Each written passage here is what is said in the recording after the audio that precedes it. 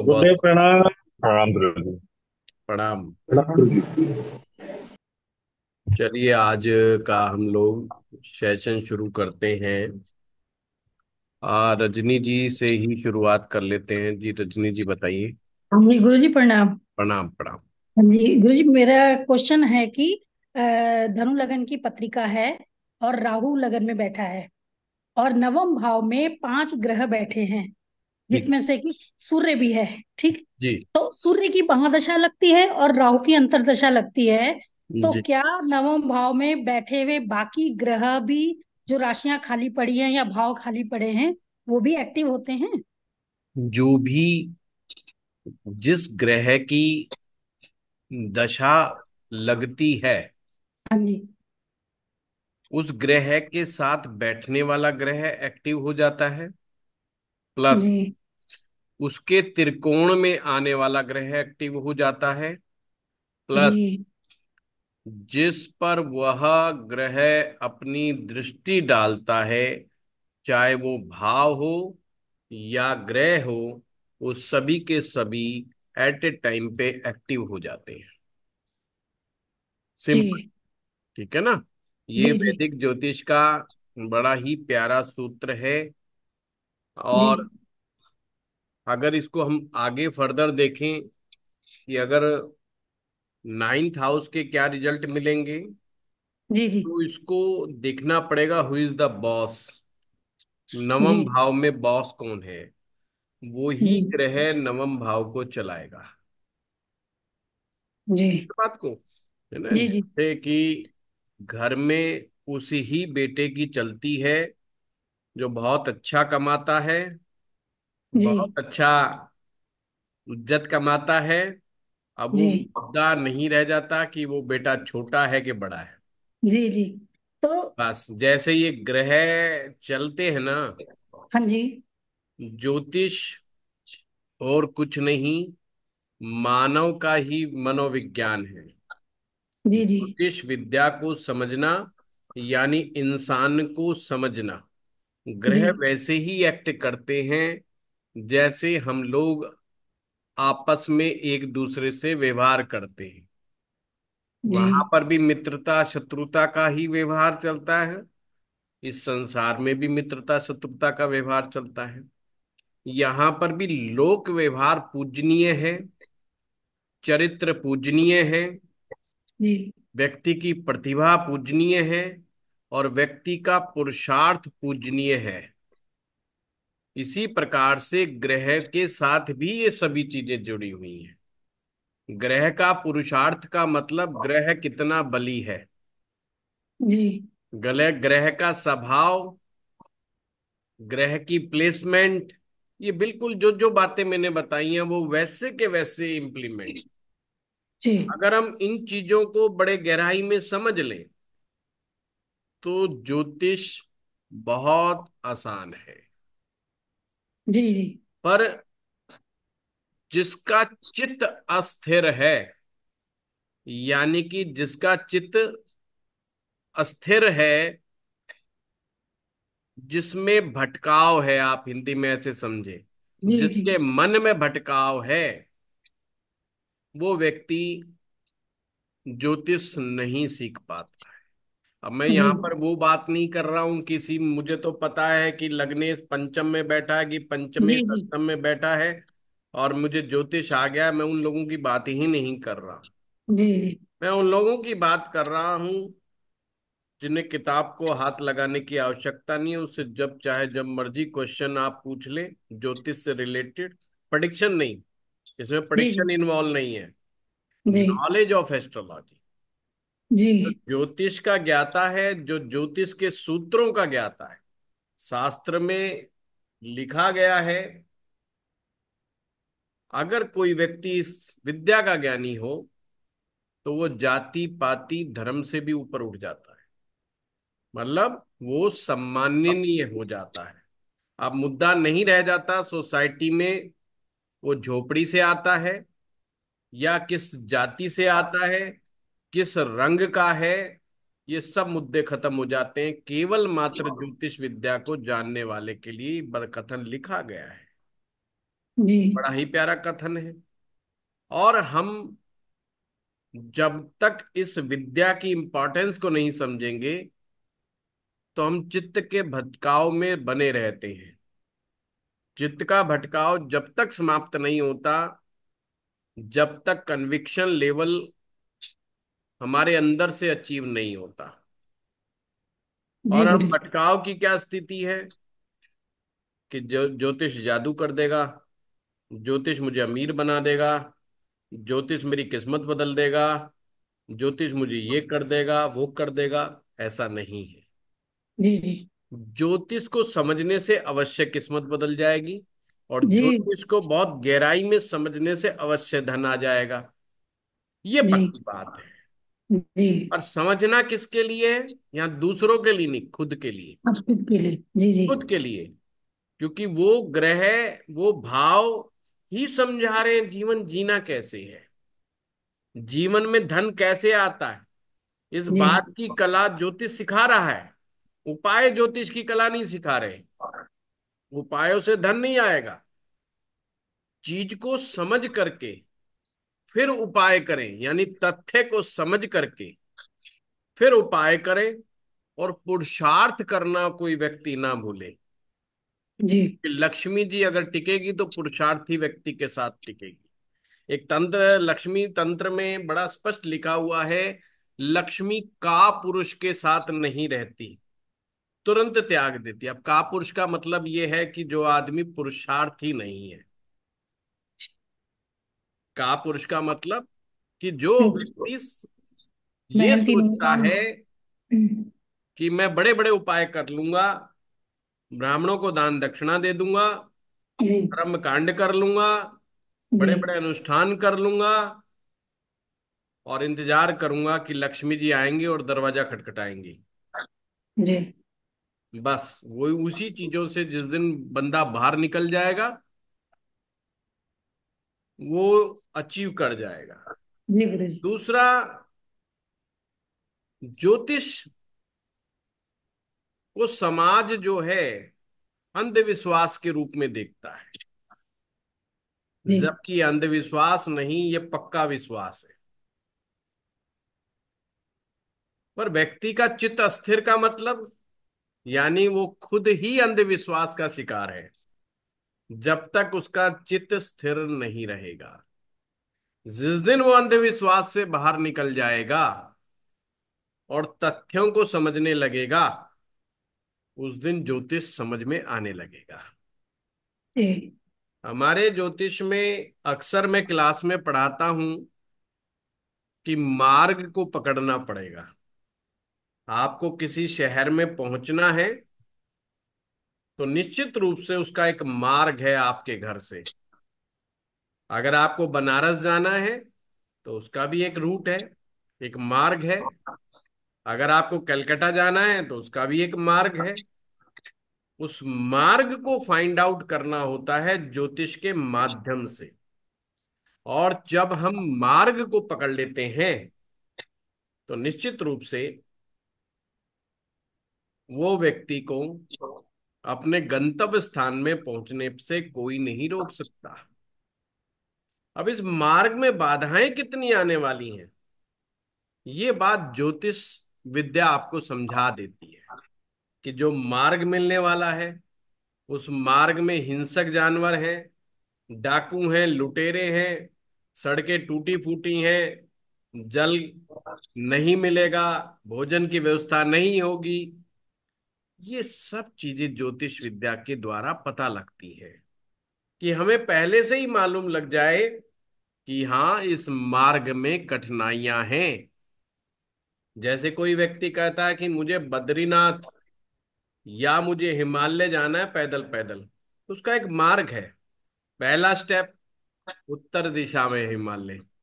तुम्हारा पहला स्टेप समझ में आ गया कि हमने दिशा उत्तर दिशा पकड़नी है। फिर उत्तर प्रदेश में आ गया। उत्तर प्रदेश से कहाँ से जाए? गंगा के किनारे किनारे चल दे। जहाँ तक गंगा जा रही है देवप्रयाग तक पहुँच जाएगा आगे फिर वो नदियों को पकड़ता पकड़ता हिमालय तक पहुँच जाएगा। इसमें उसको मार्ग के स्टेप्स चाहिए। अगर वो स्टेप्स इंसान को पता लग जाए तो फिर ज्योतिष उनके लिए लाभप्रद है। जो स्टेप नहीं समझना चाहता, जो सिर्फ़ और सिर्फ़ अंधविश्वास की जकड़ में है, ज्योतिष विद्या उनके लिए बिल्कुल भी नहीं। जो व्यक्ति ज्योतिष को जादू समझता है या जादूगरी समझ जाता है, वो ज्योतिषी बिल्कुल भी नहीं। कोई आपसे कहे कि मेरे लाइफ के पिछले दो इवेंट बताओ तो उसने गलत रूट पकड़ लिया है। उसको ज्योतिषी के पास जाना ही नहीं चाहिए। वो ज्योतिष विद्या का कार्य है ही नहीं। अब ये सच बात कह दो तो लोग बड़े हैरान परेशान हो जाते हैं कि जो ज्योतिषी पिछली बात नहीं पता लगा पा रहा, वो अगली बात कैसे पता लगाएगा? ये चैलेंज है समाज से आने वाला, मिलने वाला चैलेंज ज्योतिषियों के लिए। क्योंकि वो किसी अंतर्यामी के पास आ रहा है या ज्योतिषी के पास आ रहा है, वो खुद ही अशांत चित्त वाला है। शांत चित्त व्यक्ति ही ज्योतिष सीखता है और शांत चित्त व्यक्ति ही ज्योतिष का लाभ उठाता है। अब चाहे वो आपका जातक है, वो भी शांत चित्त है, वो उतना ही ज़्यादा लाभ उठाएगा।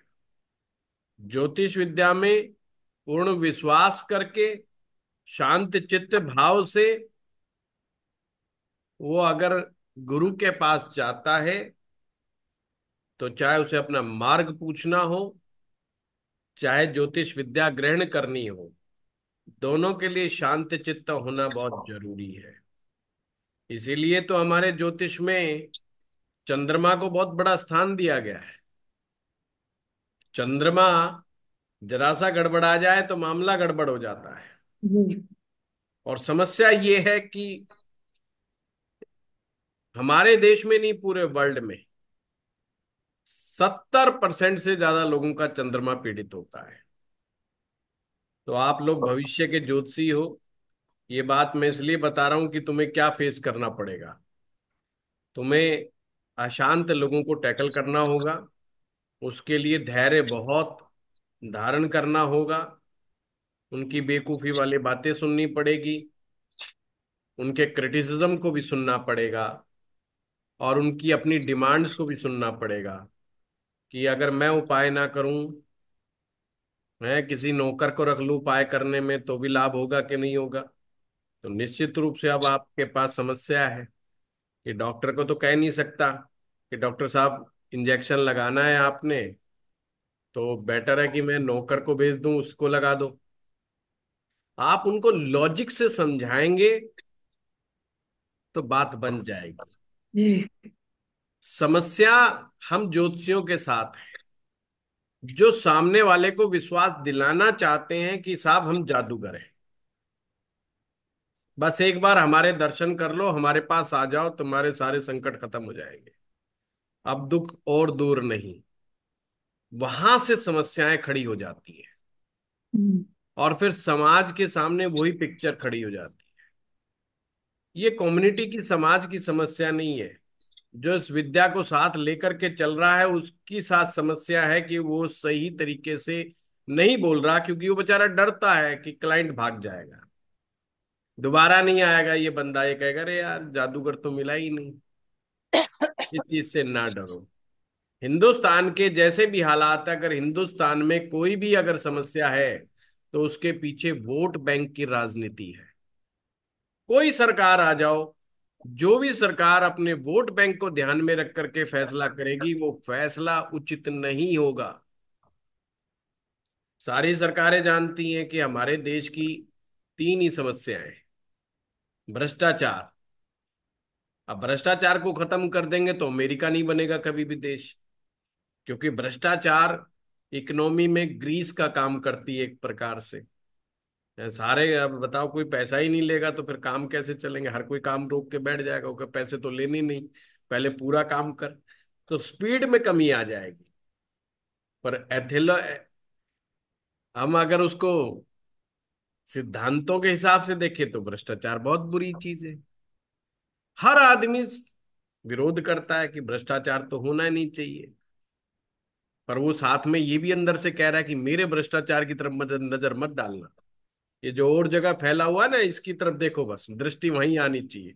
जैसे ग्रह के बारे में कहते ना, हे शनिदेव, कहीं देखो बस, मेरी तरफ़ मत देखो बाकी सुलट लेंगे। क्योंकि शनिदेव की दृष्टि के अंदर तकलीफें छिपी हुई हैं। हाँ दूसरी हमारी समस्या क्या है? वो है हमारी आर्थिक विषमताएँ। वो कोई भी सरकार नहीं मिटा सकती। ना मिटाया है ना अगले बीस हम्म, साल क्या पचास साल सौ साल में भी नहीं मिटा सकती। कोई कंट्री नहीं मिटा पाया। ये सिर्फ़ हम जो खबरें सुनते हैं कि अमेरिका में बहुत अच्छा है कनाडा में बहुत अच्छा है फलाने में बहुत अच्छा है वो किसको अच्छा मानते हैं ये उसकी बेचारे की मानसिकता पे बहुत कुछ निर्भर करता है। और अगला है समस्या तुष्टिकरण कि खुश कर दो सामने वाले को जो चाह रहा है उसको दे दो या उसको लॉलीपॉप दे दो। तो देश की समस्या है। भ्रष्टाचार जहाँ पे समस्या है, वहाँ पे ये लॉलीपॉप राजनीति भी जो है अपने आप में एक समस्या है। जातियों का तुष्टिकरण। जातियों में बट, बंटवा दो। समाज बढ़ जाएगा। ये अपने समाज में लगे रहेंगे सब एक दूसरे को ऊपर नीचे दिखाने में। तुम एंजॉय करो। राजनेता हमेशा चाहता है कि हमें कोई डिस्टर्ब ना करे जब हम सत्ता में आए। तो कोई ऐसी चीज़ फेंक दो पब्लिक के सामने कि वो जुटी रहे बस उसी में और हमारी तरफ़ ध्यान ही ना जाए उसका। तो बात को तो ये ऐसे ही राजनीति हमारे ग्रहों के अंदर भी चलती है हमारी कुंडली के अंदर भी चलती है। जी। और वो कुंडली में भ्रष्टाचार कितना सहन करोगे या करोगे वो बात आपके आत्मा कारक ग्रह डिसाइड करते हैं। अगर आपका आत्मा कारक ग्रह कमज़ोर है तो निश्चित रूप से यू एक्सेप्ट भ्रष्टाचार। और जब आप एक्सेप्ट करते हो भ्रष्टाचार को तो आप उसका विरोध करोगे सिर्फ़ ऊपर से अंदर से नहीं। ये सिर्फ़ दिखावे का खेल रह जाता है, फिर और कुछ नहीं। धन के प्रति आपकी क्या सोच है? वो आपका अमात्य कारक ग्रह समझाएगा कि धन की सोच क्या है। धन कमाना है, सभी को कमाना है, पर उससे आगे नहीं सोचते कि धन का क्या करोगे। फिर हम कहते हैं, नहीं जी, गाड़ी लेंगे, ज़मीन लेंगे, पत्नी के लिए गोल्ड लेंगे, बच्चों के लिए मकान लेंगे। बस यहीं पर सारी चीज़ें गड़बड़ हो जाती हैं। ब्रह्मांड जो यूनिवर्स है, वो इस चीज़ को नहीं स्वीकार करता। वो है तो अपना अपना कर रहा तो करता जा अपना अपना फिर मुझसे क्या मांग रहा है? जब हम कहते हैं कि हम इस यूनिवर्स को ये लौटाएँगे, हम सोसाइटी को देंगे, इस धन का हम सोसाइटी में उपयोग करेंगे, फिर देखो धन कैसे बढ़ता है। करके देखो विद इन थ्री इयर्स ही कैन चेंज अपनी पर्सनैलिटी को चेंज किए बगैर कोई धन नहीं कमा सकता, अपनी सोच को चेंज किए बगैर कोई धन नहीं कमा सकता, और बिना पुरुषार्थ किए कोई धन नहीं कमा सकता। अगर ये कंसेप्ट हमारे क्लियर हो जाए ये कंसेप्ट किसी फिलॉसफी के नहीं है। गलत फहमी के शिकार हो जाते हो कई बार। कुछ लोग लिख भी देते हैं यूट्यूब पे कि तुम तो फिलॉसफी ज़्यादा समझाते हो। अरे मैं क्या बताऊँ, ये ज्योतिष की फिलॉसफी है, भाई मेरी नहीं है ये। है या किसी और बाबा जी की संत महात्मा की दी हुई फिलॉसफी नहीं है ये? ये जो है ज्योतिष विद्या की ही फिलॉसफी है। आप कुछ नहीं एक काम करना शुरू करें कि यार भगवान मुझे इतना पैसा दे कि मैं साल में साल में जो एक्स्ट्रा मनी आएगा उसका मैं 500 आदमियों को भोजन कराऊँगा सौ लोगों को खाना खिलाऊँगा। मेरा खर्चा पचास हज़ार रुपये है। पर भगवान अभी मुझे सत्तर हज़ार रुपये महीना ही मिलता है। अगर आप एक लाख रुपया कर दो तो मैं जो तीस हज़ार रुपया एक्स्ट्रा मिलेगा, उसका मैं ये कार्य करूँगा जो पुण्य के कार्य होंगे। जो भी एक आम आदमी के काम आने वाले कार्य होंगे, गरीब के काम आने वाले कार्य होंगे, निश्चित रूप से एक लाख पर कब पहुँच जाओगे, मैं तीन साल की बात कर रहा हूँ इट मे बी कि सिक्स मंथ और वन ईयर हर रोज सोचो, बोलो सोचो बोलो सोचो बोलो, पैसा बढ़ जाएगा। लोगों को दिखाने के लिए तो दिखाना है कि मैं एक लाख रुपए महीने कमाता हूँ। आप आ जाओगे एक लाख रुपए महीने पे? हाँ जितनी सोच रखते हो उससे जल्दी आ जाओगे। एक साल की सोच रहे हो, छह महीने में आ जाओ निश्चित है ये। पर हमें वो सब चीज़ नहीं चाहिए। हमें चाहिए कि साहब, चौराहे के ऊपर रात को बारह बजे क्या रख के आए? कि लक्ष्मी जी भागी भागी हमारे घर में आ जाए। तो उस तरह के कुछ चीज़ें चाहिए। शमशान भूमि में जाओ, पीछे मुड़ के मत देखो, आगे मुड़ के मत देखो, है? भूत प्रेत से हाय हेलो हो जाए तो उससे बातचीत मत करो। तो बेचारे भूत प्रेत कहाँ हाय हेलो करने आ रहे हैं? ये आपकी सोसाइटी का कोई बंदा मिल जाएगा कि बाबूजी, आज इतने बजे क्या कर रहे हो? है ना? पर हम उसको भूत प्रेत समझ के भाग लेते। ऐसा नहीं है। यही अंधविश्वासों से बाहर निकालना एस्ट्रो पाठशाला का उद्देश्य है ज्योतिष के माध्यम से। हम्म, और ये जो भी फिलॉसफी है ये सब ज्योतिष की फिलॉसफी है। ये कोई विशेष शास्त्र की कोई फिलॉसफी नहीं है।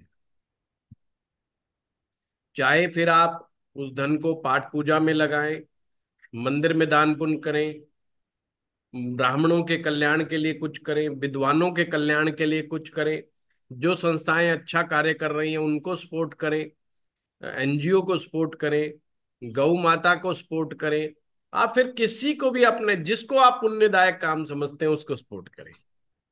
है ना? तो चाहे अंध विद्यालय में आस्था अंध विद्यालय की तो अंध विद्यालय में सपोर्ट करें। गौ माता के प्रति आस्था है तो गौ माता को सपोर्ट करें। अपने गुरु में आस्था है तो गुरु जी को सपोर्ट करें कि उनके क्या कार्य हैं, उनके क्या कार्य कर सकते हो, तन से, मन से या धन से। वो आप सपोर्ट करें। जब हम देना शुरू करते हैं, जब हम बांटना शुरू करते हैं तो लक्ष्मी जी एक्टिवेट हो जाती है।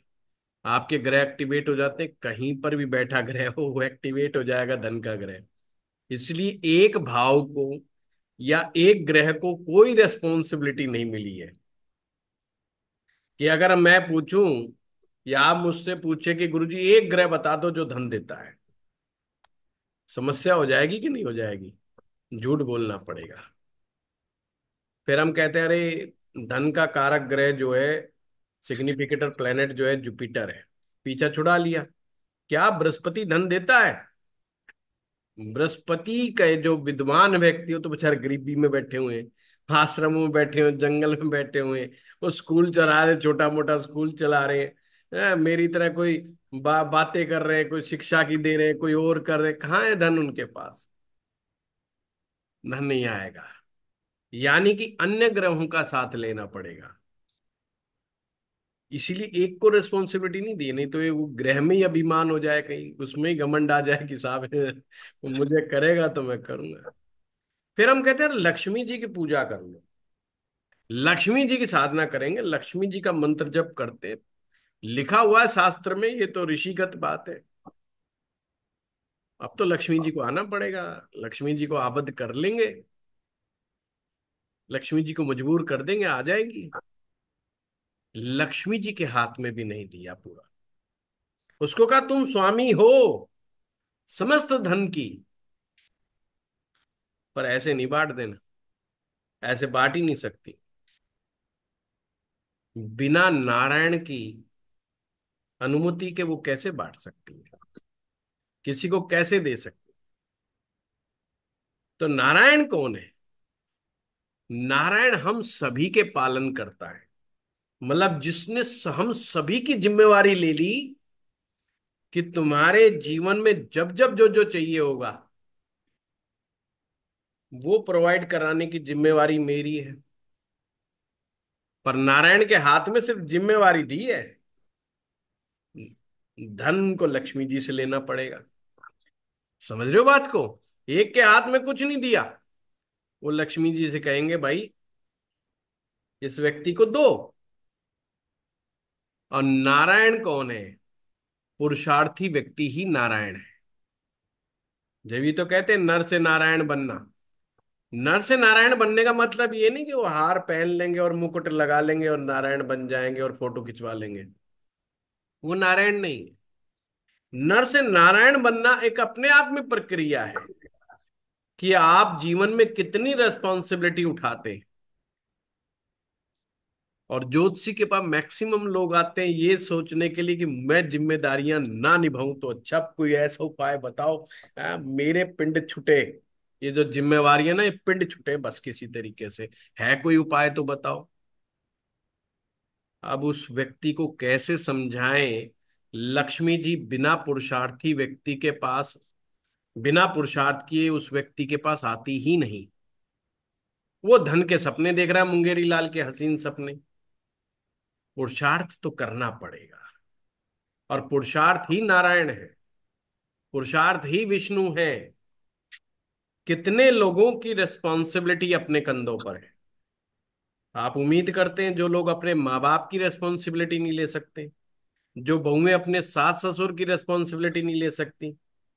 लक्ष्मी जी कहती हैं, इनमें संभालने का तो सामर्थ्य नहीं है। जो दिया है उसे ही नहीं संभाल पा रहे। मैं क्या दूँ इसको? ये तो नालायक लोग हैं।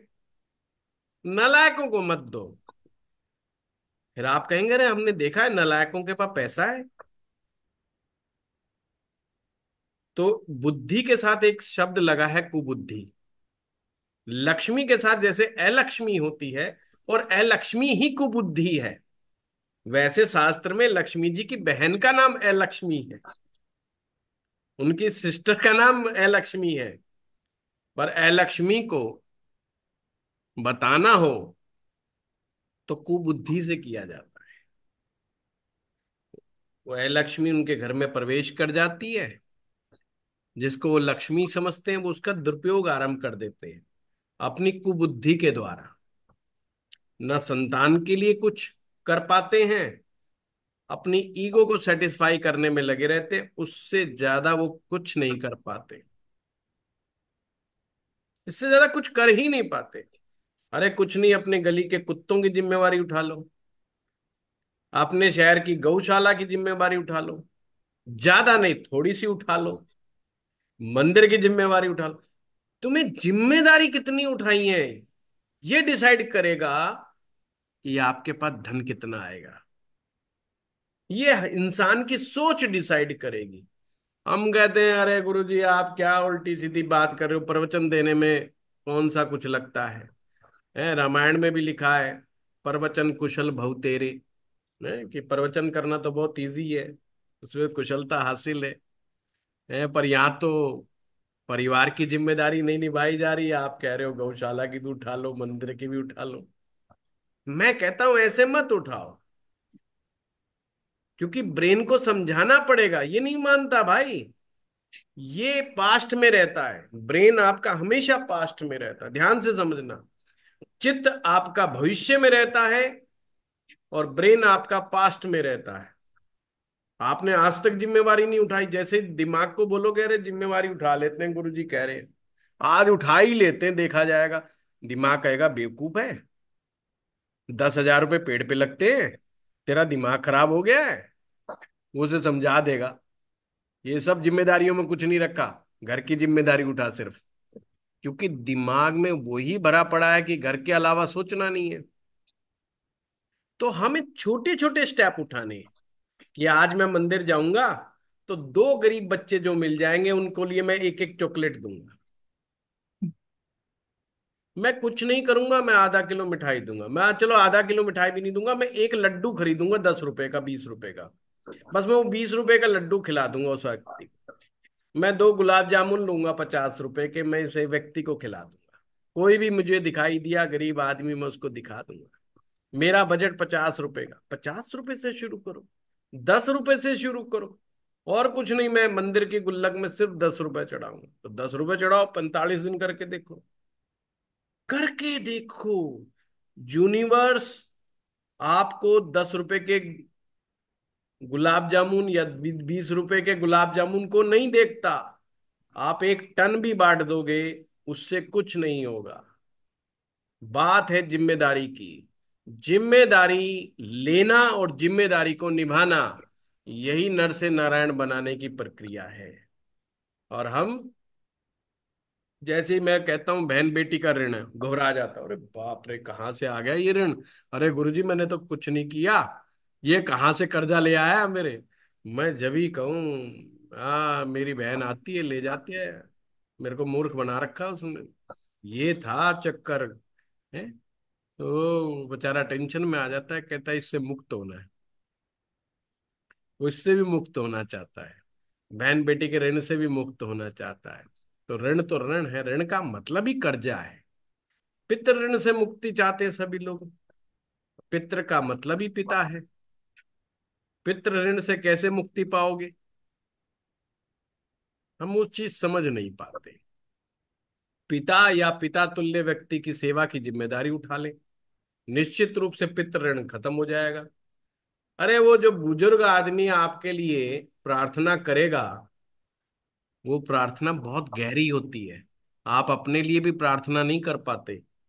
जितनी गहरी प्रार्थना एक बुज़ुर्ग आदमी अपने बेटे पोतों के लिए करता है, क्योंकि पोता जो है, उसका लास्ट बेस्ट फ्रेंड होता है।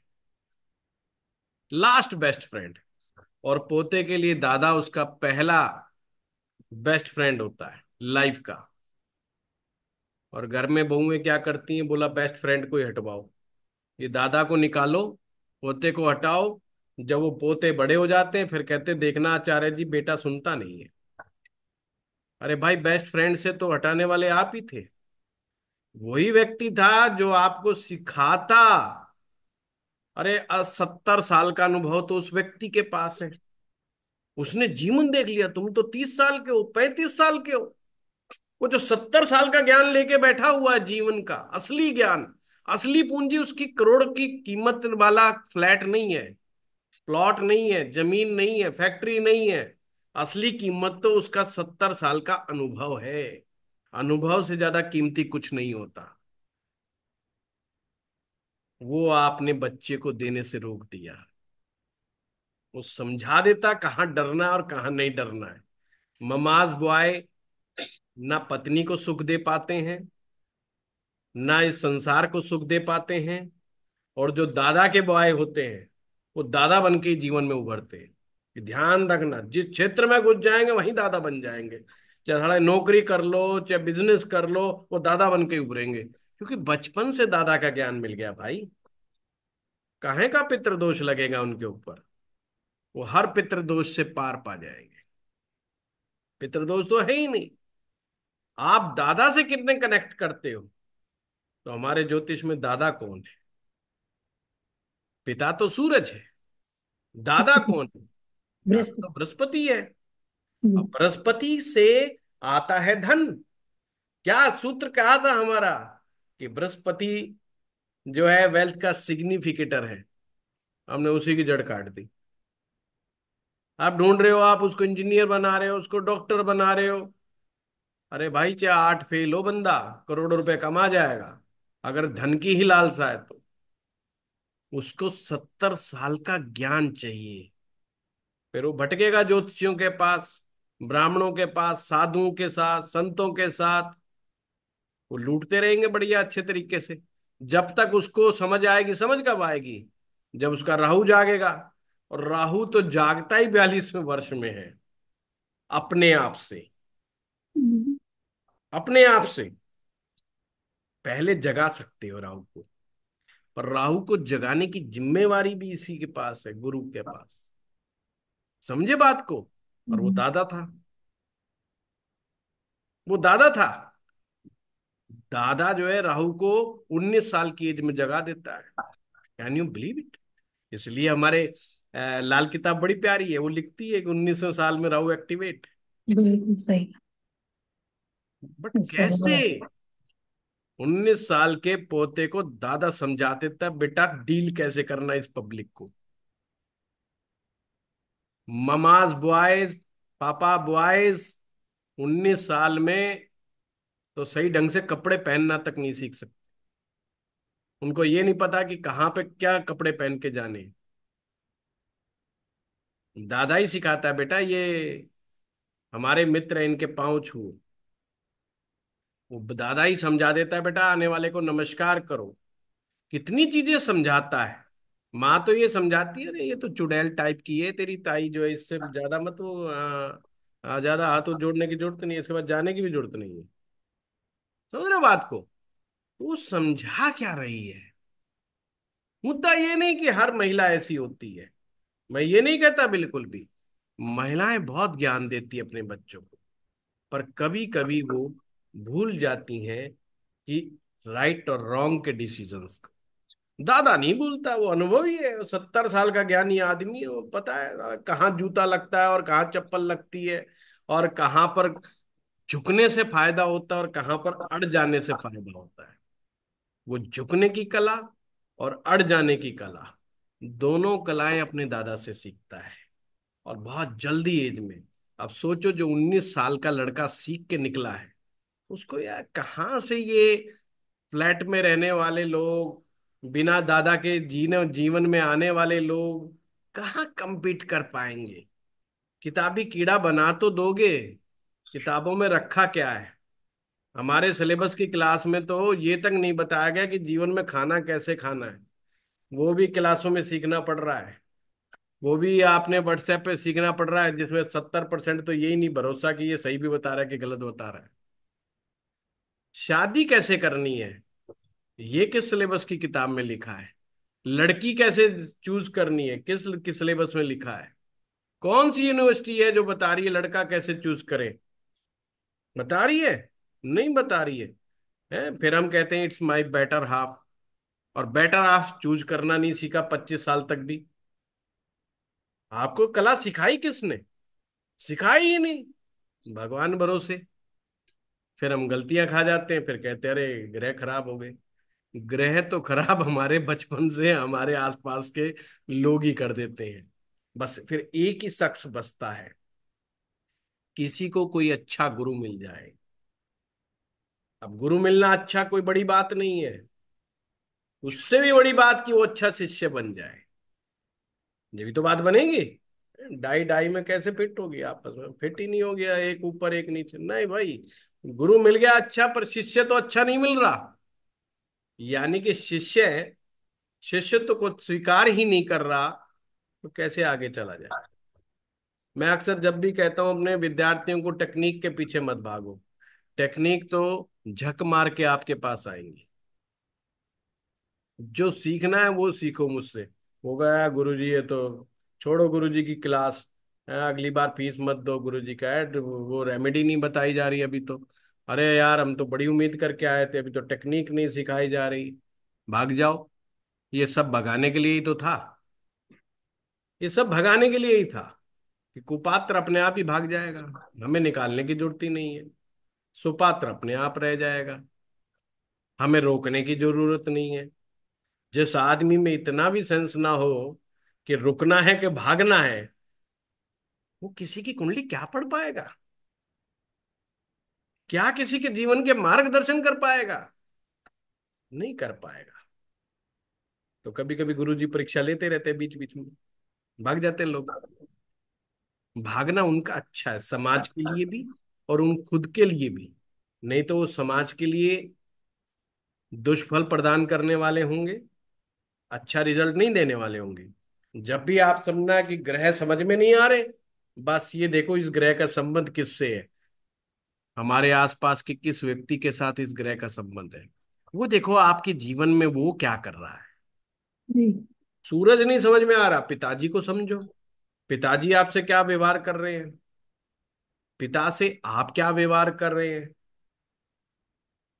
पिताजी का व्यवहार ठीक नहीं है समझ जाओ सूरज ठीक नहीं मिला। पिता ठीक नहीं मिले मीन सूरज ठीक नहीं मिला।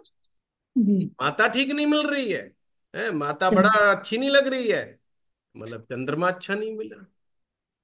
बहन अच्छी नहीं मिली है बुध अच्छा नहीं मिला भाई अच्छा नहीं मिला मंगल अच्छा नहीं मिला। आपको जो जो चाहिए वो यहाँ इस धरती पे है, जो आप ग्रहों को ऊँचा उठ के देख रहे। खड्डे में गिर जाओगे, ऊपर, मुँह ऊपर करके चलने से कोई लाभ नहीं होगा, सीधा खड्डे में गिरोगे। कोई लाभ नहीं होगा। ये सब नौ के नौ ग्रह आपके आसपास है। नौ के नौ ग्रह हमारे शरीर के अंदर विद्यमान है। कहीं बाहर जाने की ज़रूरत नहीं। और इंसान अपने आप में अकेला दसवां ग्रह है ना? जिसके बारे में ज्योतिष में चर्चा नहीं है। उसको समझ जाना है। उसको समझ जाएँगे तो चीज़ें समझ में आ जाएँगी बहुत इजी है। फाइंड आउट करना है कर लो। समस्या कहाँ आती है? लोग कहते हैं जी भाई पहले से तो ठीक पहले ठीक था अब खराब हो गया। ये कैसे कह सकते हो? अब मैं क्या पकड़ू जी? मंगल अच्छा के मंगल बुरा। आज के हिसाब से तो मेरा मंगल बुरा है।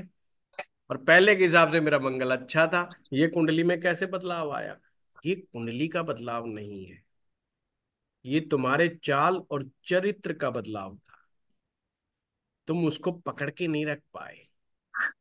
मिला तो मंगल अच्छा था। तुमने खराब कर लिया। इसे कहते हैं दसवां आदमी खुद जो वो खुद ही है। कर्म क्या कर रहे हो? छोटी बात पे भाई से लड़ मरे। छोटी बात पे प्रॉपर्टी पे लड़ मर रहे हो। किसके लिए?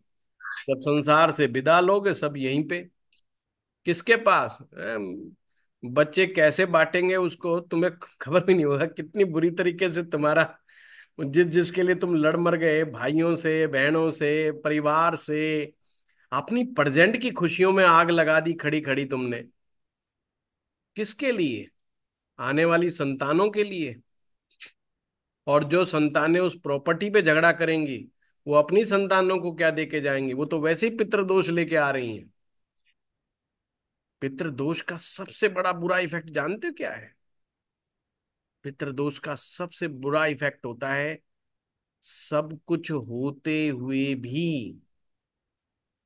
इंसान अपने जीवन से अनसेटिस्फाइड होता है।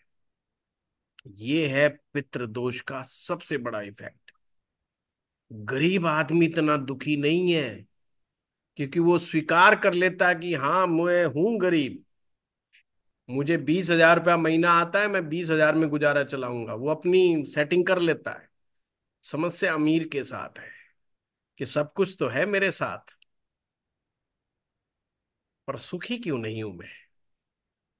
ये पीड़ा गरीब होने से भी बड़ी पीड़ा है। इसलिए तो पितृदोष को बड़ा गड़बड़ मानते हैं। और क्या मैं कहता हूँ कि तीन बार कराओ पितृदोष शांति, पाँच बार कराओ पितृदोष शांति। मेरा एक ही सोच है। इस बहाने पट्टे साल में तो याद करेंगे कि हम कहाँ से आए थे। कौन थे वो लोग? एक दिन तो बैठ के शुक्रिया अदा करेंगे कि बाबूजी दादाजी जो छोड़ के गए हो आइटम इस धरती लोक के ऊपर, अब उसके ऊपर कुछ ना कुछ करो।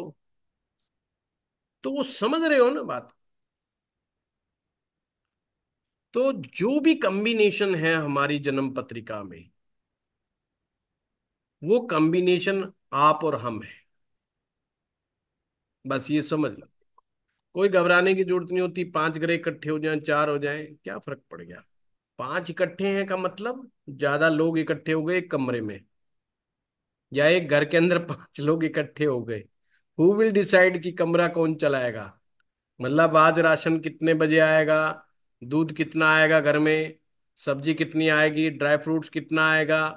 हु विल डिसाइड इट तो आप कहेंगे एक ही आदमी। और कौन? जो जीत जाएगा। आप कैसे जीत जाता है? इंसानों में भी तो होती ना अंडरस्टूड बात है जिसकी चलती है चलाएगा कौन? जो ज़्यादा पुरुषार्थी होता है वो चलाता है। मैंने क्या कहा? पत, अगर बहुत अच्छा कमाता है डेफिनेटली उसी की चलेगी। पत्नी ज़्यादा कमाती है पति कम कमाता है तो अब कहने की बात ही नहीं किसकी चलेगी? पति की हिम्मत है वो बोल दे। नहीं बोले। मुझे बड़ी हँसी आती है। लड़कियाँ कहती है, पति, ऐसा मिलना चाहिए कि बात मेरी माने, पर मैं गुरुजी एक लाख रुपए पर मंथ सैलरी पे हूँ। तीन लाख रुपए वाला मिलना चाहिए, मगर दो बात एक साथ नहीं होंगी। तीन लाख वाला तो मिल जाएगा, पर सुनेगा नहीं तेरी एक पैसे की। सुन ले बात। ये दो कॉम्बिनेशन देखने वालों की शादियाँ नहीं होती जल्दी सी। वो लेट हो जाती हैं। एक सोच लो भाई, दोनों में से क्यों कंफ्यूज हो? पति सुनने वाला चाहिए तो पचास हज़ार वाले, साठ हज़ार वाले से कर लो शादी। वो वैसे ही सलूट मारेगा सुबह शाम कि लाख रुपए लेके आती है, क्यों तू, है ना, भरी थाली को लात मार रहा खम खाई के पंगे कर रहा है। उन, वो फिर भी बेचारा कंप्रोमाइज करने की कोशिश करेगा। ज़्यादा पैसा कमाने वाला कैसे कंप्रोमाइज कर जाएगा भाई? वो कहेगा, तू नहीं मानेगी तो ले तू भी पचास, साठ लाख रुपए बिदाओ मैं दूसरी लाऊँगा। छोड़ मेरा पीछा। कोर्ट भी क्या कर लेगी? कोर्ट कुछ नहीं करती है। कोर्ट तो आपको अलग करने का एक प्रोसेस है। जोड़ने का प्रोसेस नहीं है कोर्ट कचहरी। तोड़ने का प्रोसेस है कोर्ट कचहरी। हम सोचते, और इतनी जल्दी भागे जाते हैं ना कचहरी में, जैसे वहाँ लड्डू बट रहे हो। सत्यनारायण का प्रसाद हो कि जाते ही बस चरणामत भी मिल जाएगा, लड्डू भी मिल जाएगा। अरे बेवकूफ़, वो वो अलग करने का प्रोसेस है। उस जगह पर, वहाँ कोई मिलने का प्रोसेस नहीं चल रहा है वहाँ पे। कोई बढ़िया कपलिंग प्रोसेस नहीं चल रहा है वहाँ पे। भागे जा रहे हो, भागे जा रहे हो छोटी छोटी बातों पे। वहाँ तो अलग होगा। गलती तो हम उसी समय कर रहे हैं जब हमने शादी करनी होती है। हमारी डिमांड्स गड़बड़ है। हमारी चाहते गड़बड़ है। जब हमारी चाहते गड़बड़ हो जाती हैं तो रिज़ल्ट भी वैसे ही आ जाते हैं। फिर रोते क्यों? सोचा भी तो तुम नहीं था, चाहा भी तो तुम नहीं था। अब जो है उसको भुगतो। फिर कहेंगे, हम जिम्मेवारी नहीं उठाएँगे। ना ना ना, भुगतना नहीं है जी हमने। हमने तो भागना है। पर नर से नारायण बनना तो सिखा दो गुरु जी है। कोई तो मंत्र दे दो बस, कोई माला मूला दे दो, है। कोई जपते रहेंगे, नर से नारायण बन जाएँगे। भाई साहब, एक पैसे का कुछ नहीं होना ज़्यादा नर भी नहीं रह पाओगे, है। नारायण की तो बात ही छोड़ दो। जिम्मेदार व्यक्ति, पुरुषार्थी व्यक्ति ही विष्णु जी का रूप है। लक्ष्मी, वही लक्ष्मी कौन है लक्ष्मी? लक्ष्मी जी को पढ़ो तो सही, लक्ष्मी जी के गुण क्या थे? जो महिला कह, जो उन गुणों को अपना लेगी ना, वही लक्ष्मी है। है, कई महिलाएँ बड़ा फ़ायदा उठाती हैं, किसी बेचारे पति को बता दो स्त्री श्राप है। अब हम कह देते हैं कि भाई पत्नी की सेवा करो, पत्नी देगा कुंडली, स्त्री श्राप है। तो जरा सा कुछ बोलते थे हाँ जब भी तू परेशान है देख ले। गुरुजी ने क्या कहा था? स्त्री श्राप है।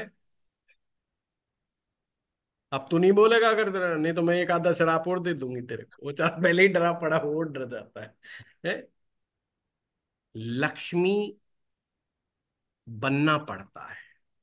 नारायण बनना पड़ता है। यहाँ होता कुछ नहीं है। जो कुछ है करना पड़ता है। ये कर्म लोक है। यहाँ जो कर्म करेगा वो जीतेगा। सीधी सी बात। जो कर्मठ व्यक्ति बढ़ेगा अब वो पुरुष हो चाहे स्त्री हो जो स्त्री लक्ष्मी स्वरूप बन जाती है बन जाती है तो फिर बन जाती है और नारायण की क्या हिम्मत जो उसको मना कर दे। मैक्सिमम महिलाओं की यह समस्या है कि हमारा पति हमारी इज़्ज़त नहीं करता। अब ये कह दू लक्ष्मी बन जाओ। वो कहते हो हम तो ऑलरेडी हैं। ऑलरेडी नहीं हो वो भी बनना पड़ेगा। लक्ष्मी बनना पड़ता है। कोई केवल मात्र योनि में आने से कोई कुछ बन नहीं जाता है। सबको करना पड़ता है। अगर हम कहते हैं कि हम स्त्री हैं तो स्त्री का गुण क्या है? स्त्री में क्या गुण है? स्त्री प्रेम देने का गुण है उसमें, जो पुरुष में नहीं है।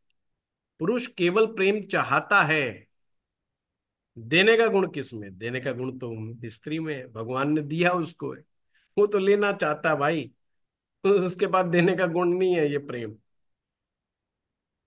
वो तो केयरिंग है। वो तो केयर कर सकता है आपकी, रक्षा कर सकता है, केयर कर सकता है। पर प्रेम देने का गुण तो स्त्री में पर स्त्री कहती नहीं, पुरुष प्रेम दे। इसका मतलब उन्हें यही नहीं मालूम प्रेम है क्या। किस चिड़िया का नाम है प्रेम? मैक्सिमम लड़े बैठे हैं पति पत्नी। प्रेम नहीं मिल रहा, प्रेम नहीं मिल रहा। तुम्हें यही नहीं पता देगा कौन और लेगा कौन। कहाँ से कद्दू मिलेगा प्रेम? इसका मतलब प्रेम का ही नहीं पता। अंग्रेज़ों ने लिख दिया, लव और उसी के पीछे पागल हो रहे लव शब्द सुना तो लव मैरिज कर लो। अब लव मैरिज कर लो, छह महीने में कोर्ट भाग जाएँगे। भाई ये लव था कहाँ फिर? ये तो बता दूँ, किसकी जेब में रखा था लव? लड़के लड़की ने। बोला जी बदल गया, बंदा बदल गया। अबे बंदा तो वही है। तुम्हें यही नहीं पता था लव क्या है। तो ये कौन सी पुस्तकों में लिखा है? कौन सी यूनिवर्सिटी में सिखाया जा रहा है? ऐसा नहीं है। इसीलिए जीवन में गुरु की आवश्यकता है। ये बहुत इंपॉर्टेंट ठीक है रजनी जी मत घबराओ पाँच ग्रह इकट्ठे हो गए छह हो गए तो सारे इकट्ठे हो जाओ कोई दिक्कत नहीं है। जी गुरु जी धन्यवाद गुरु जी हाँ धन्यवाद। सुमेर जी। नमस्कार गुरु जी नमस्कार। अद्भुत ज्ञान। ये इस ज्ञान के सामने मेरा एक बहुत छोटा सा गुरु जी सवाल है। मंगल पथ पे कल हमने चर्चा करी थी परसों भी क्लास में था। अ, आपकी मैंने दो तीन वीडियोस देखी मंगल पथ पर।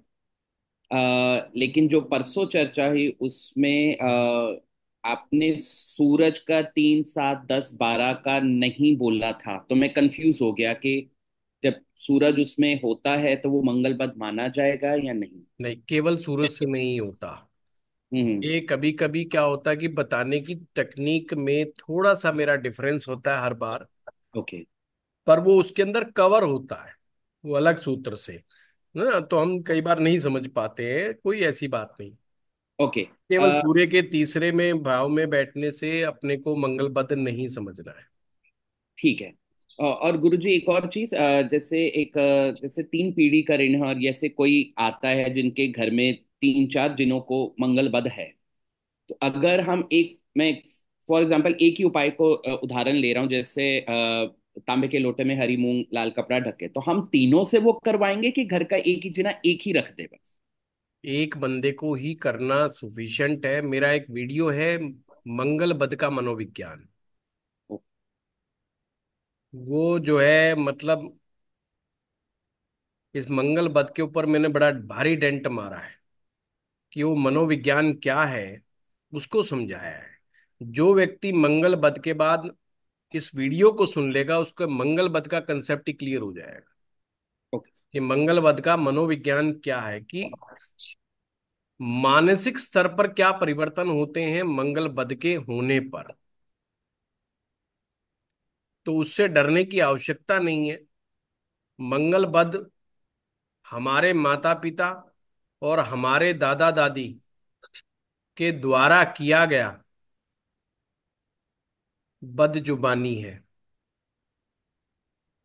शब्दों की हिंसा। ये हमारे पूर्वजों ने की दूसरों के साथ। वो ट्रांसफ़र हो गई अब हमारे पास। है ना? तो पितर भी ऐसे थोड़ी ना कोई यूँ मान जाते हैं। वो भी कुछ ना कुछ ऐसा ट्रांसफ़र करके जाते हैं कि याद रखो तुम मुझे नहीं याद करते तो मैं कुछ ना कुछ करके जाऊँगा गड़बड़। हम्म? और तो एक और अ, पर, अ, गुरुजी आठवें का मंगलबद्ध माना जाएगा। नहीं सबसे पहले मंगल बद के लिए जो और कंडीशंस हैं उनको ध्यान दें। मंगल को बिल्कुल ना देखें कि कहाँ बैठा है कहाँ ना बैठा है। मंगल बद के जो अदर सूत्र हैं उनको याद रखें। वो डिसाइड करेगा कि मंगल बद है। हाँ अब मंगल बद होकर के वो अष्टम में बैठा है तो ज़्यादा खराब हो गया। लगन पे आ गया तो और ज़्यादा खराब हो गया। कि मंगल बद आया कहाँ पर है? मंगल बद आठवें में आ गया तो आपकी सेक्सुअल डिज़ायर को बहुत ही अनकंट्रोल कर देगा। क्योंकि अष्टम भाव गुप्त ऊर्जा के साथ एक गुप्त हमारी सेक्सुअल इच्छाएँ अब मंगल बद होकर के वहाँ गया, यानी कि उसको कोई लेना देना नहीं है कि मुझे किससे रिलेशन बनाना है। मुझे मेरी महत्वाकांक्षा को पूरा करना है। लगन का मंगल बद हो गया तो छोटी छोटी बात पे इतना जल्दी अग्रेसिव हो जाएगा कि बाद में जैसे ही ठंडा होगा, कहेगा, अरे यार, हो गई ना गड़बड़ बात, कह ही दिया, आज उसको बोल ही दिया, बड़े दिन से मन में था, बस पीछा ही नहीं छोड़ा उसका। तो ये समस्या है। हाँ वो अच्छे भाव में मंगलबद्ध हो जाए, मान लो तीसरे भाव में मंगलबद्ध हो गया, नहीं है इतना हार्मफुल पुरुषार्थ को बढ़ा देगा पुरुषार्थ बढ़ा देगा ये भी है कि अननेसेसरी काम में जुटा रहेगा पट्टा। है ना? वो कहेगा ये काम तो अपन ही करेंगे। जो काम उसको नहीं भी करने उन कामों में भी घुसा रहेगा। इसके अलावा कुछ नहीं होना। हाँ वो समझाने से नहीं मानेगा। अगर उसने नियम बनाना कि पूरी गली में झाड़ू लगानी तो लगाएगा। वो नहीं मानेगा भाई। चाहे उसका उससे कोई लेना देना है कि नहीं है। मंगलवाद का मतलब जो ना माने। जब मान जाए मंगल नेक थैंक यू डॉक्टर समिता